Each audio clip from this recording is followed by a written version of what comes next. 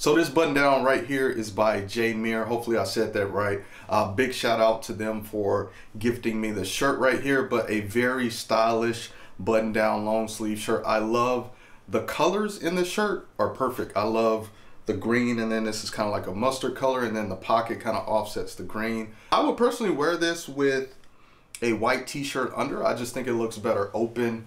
Uh, you could roll up the sleeves with it. I would not wear this if it's very hot because of the material.